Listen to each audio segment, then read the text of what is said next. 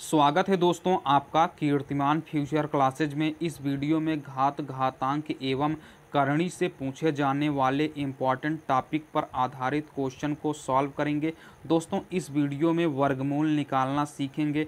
जैसे दोस्तों एग्ज़ाम में क्वेश्चन दे दिया जाएगा, आठ प्लस अंडर रूट साठ का वर्गमूल ज्ञात कीजिए। या दोस्तों, इसी क्वेश्चन को इस तरीके से भी पूछा जाता है, आठ प्लस अंडर रूट साठ का वर्गमूल ज्ञात कीजिए, अंडर रूट लगा हुआ है या इसी क्वेश्चन को इस तरीके से पूछा जाता है। आठ प्लस दो अंडर रूट, पंद्रह का वर्गमूल ज्ञात कीजिए।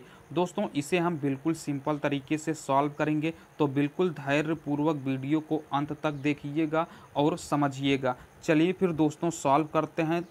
सल्यूशन, ध्यान से समझेंगे। दोस्तों, इस तरीके से क्वेश्चन दिया गया होगा। तो देखिए, आठ प्लस अंडर रूट साठ इस तरीके से क्वेश्चन दिया गया होगा तो सबसे पहले आप इस क्वेश्चन को इस तरीके में बदलेंगे। इसके लिए आप क्या करेंगे दोस्तों? देखिए, आठ प्लस अंडर रूट साठ दिया गया है। पहले एक संख्या दी गई है और प्लस लिख करके अंडर रूट साठ दिया गया है। तो दोस्तों, अंडर रूट में जो मान होगा, उसको आप दो भागों में तोड़ेंगे, ठीक है? फ़र्स्ट एंड सेकंड दो भागों में तोड़ेंगे, जिसमें से एक भाग हमेशा हर क्वेश्चन में पहला भाग चार होगा और दूसरा भाग चार में हम किसका मल्टीप्लाई कर दें? कि साठ आ जाए तो पंद्रह का हम मल्टीप्लाई कर देंगे चार में तो साठ हो जाएगा। ठीक है, पहला भाग हमेशा चार होगा और दूसरा भाग चार में हम किसका गुणा कर दें? जो यहाँ मान दिया गया हो, उसके बराबर हो जाए तो इसके ऊपर अंडर रूट लगा देंगे। ठीक है, देखिए, चार का वर्गमूल हम आसानी से निकाल सकते हैं। तो चार का वर्गमूल निकालेंगे, दो हो जाएगा, ठीक है, अंडर रूट पंद्रह हो गया। अब आप यहाँ ध्यान से समझेंगे, इस दो को छोड़ देंगे, यहाँ जो अंडर रूट में वैल्यू आएगा, देखिए अंडर रूट में क्या आया है, पंद्रह आया है, इसको आप ऐसे दो भागों में तोड़िए, ठीक है, ऐसे दो भागों में तोड़िए, जिनका मल्टीप्लाई करने पर तो अंडर रूट पंद्रह आना चाहिए और उनके वर्गों का योग आठ के बराबर आना चाहिए। ऐसे दो भागों में तोड़िए जिनका मल्टीप्लाई करने पर तो अंडर रूट का पंद्रह आना चाहिए, लेकिन उनके वर्गों का योग आठ के बराबर आना चाहिए। तो अंडर रूट पंद्रह को हम दो भागों में तोड़ेंगे तो अंडर रूट तीन और अंडर रूट पाँच के रूप में तोड़ेंगे। देखिए अंडर रूट तीन में अंडर रूट पाँच का गुड़ा करेंगे तो दोस्तों क्या आ जाएगा? अंडर रूट पंद्रह आ जाएगा। बस यहाँ से अगर आपने ध्यान से समझ लिया तो समझिए आप क्वेश्चन को सॉल्व कर लेंगे। यहाँ जो होगा, उसको दो भागों में तोड़ेंगे तो अंडर रूट तीन और अंडर रूट पाँच के रूप में तोड़ेंगे।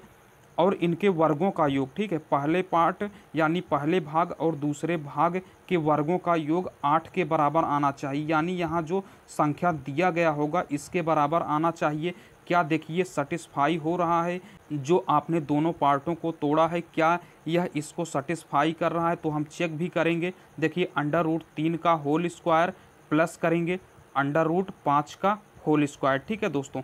तो देखिए, यहाँ से क्या हो जाएगा? अंडर रूट तीन का होल स्क्वायर तीन हो जाएगा, प्लस अंडर रूट पाँच का होल स्क्वायर पाँच हो जाएगा। तो तीन में पाँच को जोड़ेंगे तो आठ आ जाएगा। दोस्तों, आप इसी तरीके से दो खंडों में तोड़ेंगे, जिनका मल्टीप्लाई करने पर तो यह आना चाहिए, लेकिन उनके वर्गों का योग यह पहली वाली संख्या यानी आठ के बराबर, यानी यहाँ जो संख्या होगा, उसके बराबर आना चाहिए। अगर आपने इसको समझ लिया तो आप समझिए, यहाँ से उत्तर आ गया। तो देखिए, दो पार्ट हमने तोड़ा है, दो खंड में तोड़ा है अंडर रूट तीन के रूप में और दूसरा क्या है अंडर रूट पाँच के रूप में। ठीक है दोस्तों, यहाँ देखिए प्लस लगा हुआ है। देखिए क्वेश्चन में प्लस है। अगर प्लस होगा तो प्लस कर देंगे। अगर यहाँ माइनस होता तो माइनस कर देते। तो दोस्तों, यहाँ से अंडर रूट तीन प्लस अंडर रूट पाँच, यही क्या आ जाएगा? वर्गमूल निकल कर आएगा। ठीक है, यही वर्ग मूल हो जाएगा।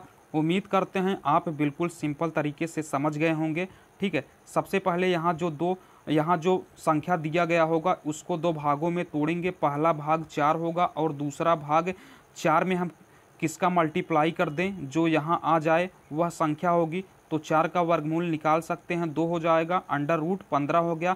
अंडर रूट पंद्रह को ऐसे दो भागों में तोड़िए जिनका मल्टीप्लाई करने पर तो अंडर रूट पंद्रह आना चाहिए और उनके वर्गों का योग ये पहली वाली संख्या यानी आठ के बराबर आना चाहिए। अगर आपने इसे दो पार्टों में तोड़ लिया तो देखिए, अगर यहाँ प्लस का चिन्ह लगा हुआ है तो प्लस का चिन्ह लगा देंगे, ठीक है? अंडर रूट तीन, प्लस का चिन्ह लगा करके अंडर रूट पाँच लिख देंगे। तो दोस्तों, यही क्या निकल कर आएगा? वर्गमूल निकल कर आएगा। उम्मीद करते हैं आप बिल्कुल आसानी से समझ गए होंगे। समझ गए हो तो लाइक कर दीजिए और चैनल को सब्सक्राइब ज़रूर करिए। चलिए, अगला क्वेश्चन देखते हैं। दूसरा क्वेश्चन है दोस्तों 11 माइनस अंडर रूट एक सौ बीस का वर्गमूल ज्ञात कीजिए। चलिए इसको सॉल्व करते हैं, ध्यान से समझेंगे। सल्यूशन देखिए क्या है 11 माइनस अंडर रूट एक सौ बीस। तो सबसे पहले आप क्या करेंगे, अंडर रूट एक सौ बीस को आप दो भागों में तोड़ेंगे, जिसमें से पहला भाग हमेशा चार होगा और दूसरा भाग चार में हम किसका मल्टीप्लाई कर दें कि 120 आ जाए तो 30 का हम मल्टीप्लाई कर देंगे तो 120 हो जाएगा, इसको अंडर रूट में लिख देंगे। ठीक है, देखिए, चार का वर्गमूल हम आसानी से निकाल सकते हैं। तो चार का वर्गमूल क्या हो जाएगा? दो हो जाएगा। अंडर रूट तीस हो गया। ठीक है, इस दो को आप भूल जाइए। इसको छोड़ दीजिए। देखिए क्या हो गया? अंडर रूट तीस। अंडर रूट तीस को आप ऐसे दो भागों में तोड़िए, जिनका मल्टीप्लाई करने पर तो अंडर रूट तीस आना चाहिए, लेकिन उनके वर्गों का योग ग्यारह के बराबर आना चाहिए। ठीक है? तो देखिए यहाँ से क्या हो जाएगा?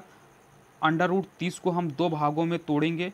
तो अंडर रूट पाँच और अंडर रूट छः के रूप में तोड़ेंगे देखिए अंडर रूट तीस को इस प्रकार भी हम तोड़ सकते हैं अंडर रूट तीन और अंडर रूट दस के रूप में भी तोड़ सकते हैं और अंडर रूट तीस को हम अंडर रूट एक और अंडर रूट तीस के रूप में भी तोड़ सकते हैं क्योंकि अंडर रूट तीन में अंडर रूट दस का गुणा करेंगे तो अंडर रूट तीस आ जाएगा अंडर रूट एक में अंडर रूट तीस का गुणा करेंगे तो अंडर रूट तीस आ जाएगा। लेकिन दोस्तों सेटिस्फाई वही होगा।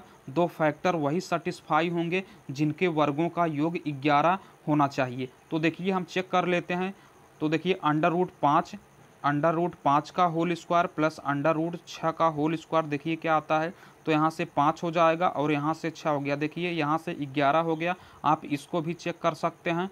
तो देखिए अंडर रूट तीन का whole square plus under root दस का होल स्क्वायर करेंगे तो यहाँ से तीन हो जाएगा प्लस यहाँ से दस हो जाएगा। यहाँ से तेरह आ रहा है, लेकिन हमको चाहिए क्या? ग्यारह चाहिए, ठीक है? तो कौन से दो फैक्टर सेटिस्फाई कर रहे हैं? तो अंडर रूट पाँच और अंडर रूट छः सेटिस्फाई कर रहे हैं, ठीक है?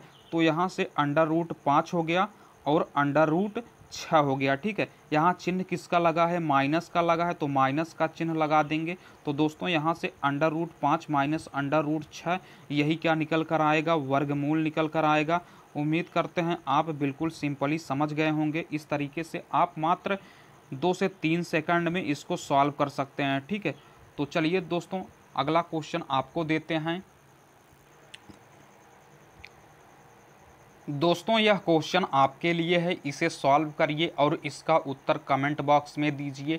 अगर वीडियो अच्छा लगा हो, समझ में आया हो तो लाइक कर दीजिए चैनल को। अगर अभी तक आपने सब्सक्राइब नहीं किया है तो चैनल को सब्सक्राइब करके नोटिफिकेशन बेल को ज़रूर प्रेस करिएगा। चलिए फिर मिलते हैं अगले वीडियो में। तब तक के लिए टेक केयर जय हिंद, वंदे मातरम।